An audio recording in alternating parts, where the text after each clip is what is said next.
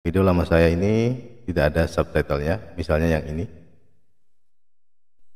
SSD tambahan Saya salin, M.2 2242 dengan Kemudian saya paste ke 12 sini. GB, kemudian menambahkan atau memasang Transkrip. internal baterai. nah dia akan error seperti ini. Video Video tidak di. Assalamualaikum warahmatullahi wabarakatuh. Terima kasih sudah mengklik video ini. Di video kali ini, izinkan saya untuk men-share bagaimana cara mendapatkan transkrip dari suatu video. Di sini saya akan share dua cara, yaitu dengan menggunakan uh, website atau yang kedua adalah menggunakan Google Transcript, transkripsi instan. Baik, kita mulai saja.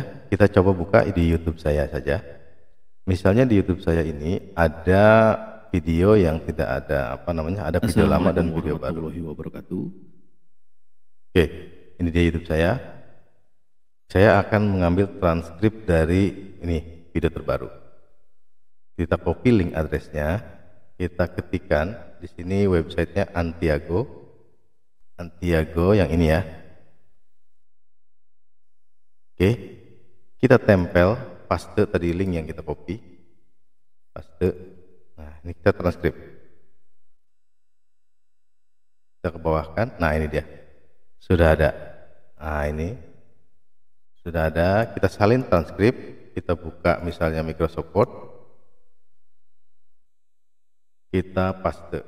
Klik eh, Control paste. Control A.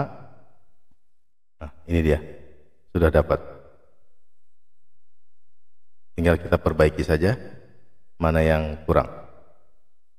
Tapi kelemahan daripada website ini adalah kalau untuk yang tidak memiliki subtitle dia tidak bisa mengekstrak suaranya.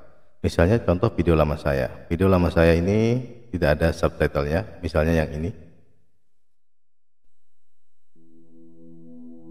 Sorry ada iklannya. Harus secara berurutan, nah, ini bisa diratakan flat. saya buat tidak ada subtitlenya. pada Lenovo ThinkPad X250 juga memasang SSD tambahan Saya salin, M.2 2242 dengan Kemudian saya paste ke 12 sini. Kemudian menambahkan atau memasang Transkrip. internal baterai.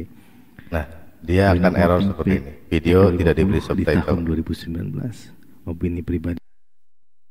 banyak juga yang seperti ini yang podcast podcast biasanya tidak diberi subtitle jadi untuk cara yang kedua adalah menggunakan Google Transcript oke teman-teman untuk cara yang kedua saya menggunakan handphone saya ditaruh di samping laptop saya yaitu menggunakan transkripsi instan oke kita mulai saja saya klik transkripsi instan ini setting bahasa Indonesia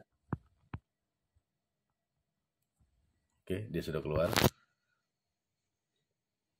Langsung saya play. Saya laptop ini masih layak digunakan. Modelnya masih cukup enak dilihat untuk laptop yang setua ini. 2019 menggunakan Lenovo ThinkPad X250. Layarnya bisa ditekuk, bisa diratakan flat. Nah, Lenovo ini memiliki Baik, SSD seperti itu contohnya, 250 teman-teman.